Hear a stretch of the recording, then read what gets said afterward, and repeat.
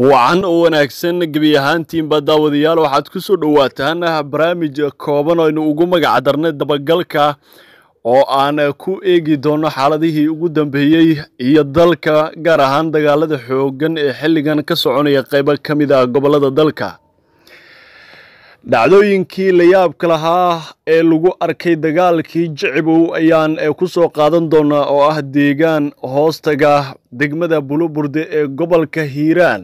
dagaalkan taariikh caynkee ah ayuu dhigay madhaba in laba boqol oo dagaalyahan oo ka tirsan ururka al-shabaab halkaasi lagu dilay. Maxaa ka jira in hogaamiye ee si weyn loo baadigoobayay uu dagaalkan ku dhintay?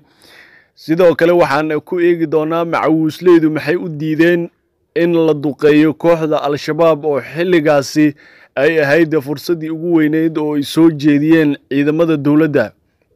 sidoo kaleeta dagaalkan oo ahaa kii ugu xoogganaa ee socda ilaa iyo kow iyo toban saacadood inta jihe ee uu dagaalkan ka bilowday ayaan ku dul istaagi doonaa iyo sidoo kale beesha xawaadle oo taariikh kala samaysay. Haddaba maxay tahay taariikhdan ay beesha xawaadle samaysay ee u gaarka ah taasi oo sida weyn loo hadalhayay saacadihii ugu dambeeyey ayaan ku dul istaagi doonaa barnaamijkeenna dabagalka balse marka hore daawade waxaan kaa codsanayaa inaad janalka sabskribe taabato muuqaalkan like dhahdo aad u sii sheergarayso saaxiibadaada kala duwan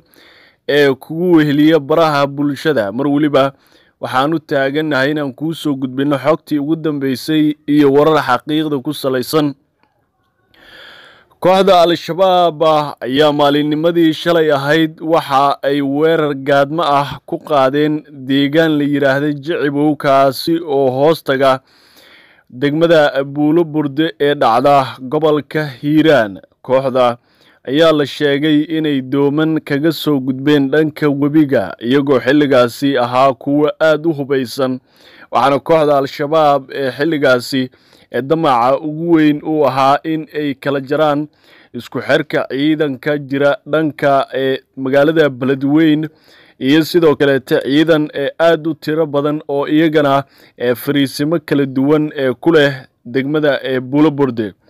deegaanka loo yaqaano jicibow ayaana waxa uu soddon ee kilomitir waqooyi kaga beegan yahay ee degmada loo yaqaano buloburde oo ka mid ah ee degmooyinka dhaca ee bartamaha gobolka hiiraan. Dagaalkii ayaana bilowday shalay aroortii waxaana uu joogsaday xalay fiidkii waxaana ciidamada dowladda ay xaqiijiyeen in ugu dambeyn la soo afjaray kooxdii weerarka soo qaaday kuwaasi oo jihooyin kala duwan ka soo weeraray deegaanada ee u dhow dhow ee degmada buloburde ee gobolka hiiraan waxaana lagu tilmaamay dagaalkii ugu cuslaa ee ka dhacay in muddo ah dagaalkan ayaana waxa uu qaatay inta uu socday ilaa iyo kow iyo toban saacadood. Kadib wararku waxay sheegayeen in geerida ku dhowaad boqol dagaalyahan oo ka tirsan kooxda al-shabaab in halkaasi lagu dilay. Wararka qaar ayaana intaasi waxa ay ku darayaan geerida kooxda in ay qeyb weyn ka ahaayeen horjoogayaal ka tirsanaa kooxda al-shabaab kuwaasi oo qaarkood ee madaxooda lacag ay dul saarneed. Waxaana la soo sheegayaa in halkaasi ay ku dhinteen horjoogayaal walow ay kooxda al-shabaab ka gaabsatay in ay horjoogayaal ka mida kooxdeeda uu ku dhintay ee dagaalkaasi ciidanka dowladda soomaaliya iyo midka dadka deegaanka ee macawiisleyda loo yaqaana ayaa iyagana dhankooda khasaare laga soo warinayaa in uu ka soo gaaray dagaalkaasi.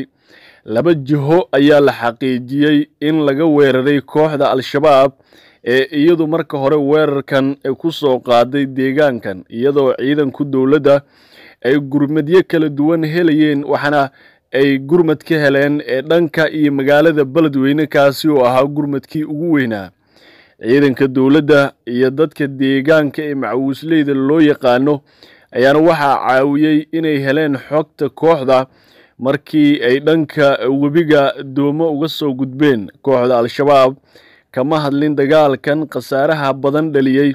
caadiyana kama hadlaan ee dagaalada lagu jebiyo kooxda al-shabaab. Dagaalkan waxa uu noqday mid ka mid ah saddexdii dagaal ee ugu khasaaraha badnaa oo ay kala kulmaan kooxda al-shabaab. Waxaana la sheegay inuu yahay kii ugu khatarta badnaa oo ay kooxda shabaab wajahaan kaasi oo jihooyin kala duwan ee dagaalkan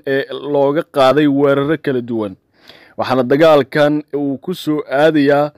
iyada oo horey jab xoogan loogu geystay deegaano ay ka mid tahay deegaan ka baxdo oo si weyn dagaalkaasi dad badani kaga dhinteen dagaalyahano ka tirsan ee kooxda al-shabaab. Dagaalkii labaad ayaana waxa uu ahaa dagaalkii ka dhacay deegaanka ceel qooxle kaasi oo taariikhda galay dagaalkaasi ayaana waxa uu noqday kii ugu dhimashada badnaa oo kooxda al-shabaab ee la soo warinaya in horjoogayaalkii ugu magaca weynaa ay dagaalkaasi ku geeriyoodeen. Dagaalkii ka dhacay ceel qooxle ayaa markaa aad ka wareysanaysid dadkii dagaalkaasi qeybta weyn ka galay waxa ay kuu sheegayaan in la isla gaaray in tooreeyo ama midiyo sidaad u taqaano la iskula baxay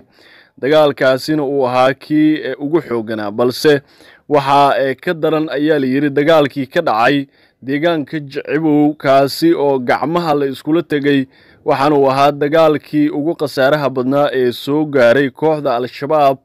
deegaanka jicibow oo hoostaga degmada buloburde. Laba ka mid ah dagaaladan aan soo xusay waxaa khasaaraha ugu badan kooxda al-shabaab ee la baday la leeyahay in mar weliba xogta kooxdaasi la helayay iyadoo dadku deegaanka ee loo yaqaano macawiisleydana ay u diyaar garoobeen dagaalkaas. Dhanka kale ciidankii ugu badnaa ee ka qeybgeli lahaa dagaalka al-shabaab ayaa shalay lagu soo bandhigay duleedka ee magaalada muqdisho ee caasimadda soomaaliya. Ciidankan oo deegaan ahaan ka soo jeeda gobolka shabeellaha dhexe ayaa la filayey in gobolkaasi ay ka bilaabaan dagaal ka dhan ah ee kooxda al-shabaab. Haddii uu gobolka shabeellada dhexena uu ka bilowdo dagaal la qorsheynayo waxaa la fahamsan yahay in kooxda al-shabaab aysan ka sii dagaalami karin gobolka hiiraan oo culayskii ugu weynaa uu soo korayo haddii furimo kale oo dagaal ah ee lagu furo kooxda al-shabaab waxaana ay la kulmi karaan culayskii ugu badnaa oo ka wajahayo gobollada la isku yidhaahdo maamulka hirshabeelle ciidankii shalay tirada badnaa ee ka sii ruqaansaday magaalada muqdisho ayaa loo diyaariyey in ay qeyb weyn ka noqdaan weerarada kooxda al-shabaab ee ku sugan gobolka shabeellada dhexe waxaana wararka qaar ay sheegayaan inay bilaabayaan howlgalkooda marka uu madaxweynaha dalka xasan sheekh maxamuud uu dalka dib ugu soo laabto. Xilligaasi oo ay qeyb weyn ka qaadan doonaan ayaa la yidhi hagidda iyo hoggaanka ciidankaba madaxweynaha dalka iyo sidoo kaleeta saraakiisha ugu sarreysa ee ciidanka. Oo ugu horreeya taliyaha ciidanka xoogga jenaraal odawaay yuusuf raage